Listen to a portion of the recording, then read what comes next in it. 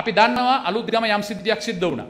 ඒක සිදු නොවිය යුතුව තිබුණා. ඒක වළක්ව ගන්නතු. නමුත් අමතක කරන්න එපා. ඒක සිද්ධ වෙච්ච වෙලාවෙම පැය 24 එක පාලනය කළා. ජනාධිපතිතුමා රටේ ඉඳලා ආපු ගමන් කෙලින්ම ගියේ අලුත් ගම. වෙනම හමුදා අනුකණ්ඩයක් එතන තියලා සම්පූර්ණ ගෙවල් ඔක්කොම හදලා දුන්නා. මේගොල්ලෝ මොනවද කරේ? ගින්තොට වෙච්ච සිද්ධියේදී අම්පාර වෙච්ච සිද්ධියේදී දිගන වෙච්ච සිද්ධියේදී මිනුවන්ගොඩ වෙච්ච සිද්ධියේදී කුලියාපිටිය වෙච්ච සිද්ධියේදී මේක ඔඩු දුවන්න ඉඩ දීලා උඩ බලාගෙන හිටියා. දීලා ඊට කියන එකට පොහොට්ටුව සම්බන්ධයි. නැත්නම් තමන්ගේ ආණ්ඩුව නම්, තමන්ගේ පොලිසිය නම්, තමන්ගේ අගමැති නම් බැරි නම් දීලා යන්නට ඕන. අනිත් මිනිසුන්ට බොරුවට වගකීම පවර පවර ඉන්නට බෑ. අනිත් එක එකක් මතක තියාගන්න ඕනේ. ලෝකෙ කිසිම රටක් මහා ජාතියේ කැමැත්ත නැතුව මහා ජාතියේ ආශිර්වාදය නැතුව ප්‍රධාන ජාතිය ආශිර්වාදය නැතුව දියුණු කරලා නැහැ.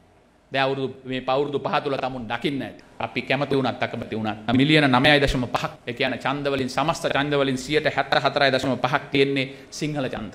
සිංහල බෞද්ධ සහ සිංහල කතෝලික ඡන්ද. ඒ ඡන්ද වලින් අවම වශයෙන් මම හිතනවා මේ වනකොටත් ජනතාව තීරණය කරලා ඉවරයි 165ක් 70ක් පතර ප්‍රමාණයක් ගෝඨාභය රාජපක්ෂ මහත්මයාට ලබා දෙන්න.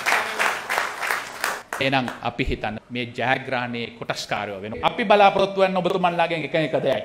අපිට ඕන මේ රටේ ආරක්ෂාව සනාත කරලා දෙන්න. මුස්ලිම් දෙමළ හෝ වේවා සිංහල හෝ වේවා සියලු අන්තවාදයන් පරද්දලා රටේ නීතියේ ආධිපත්‍ය සුරක්ෂිත කරලා දෙන්න. ජනාධිපතිතුමනි ඔය රිෂාඩුයි ඔය හකීමුයි නැතුව මේ රටේ මුස්ලිම් ජනතාවයි සිංහල ජනතාව එකතු වෙලා අපි දිනනවා.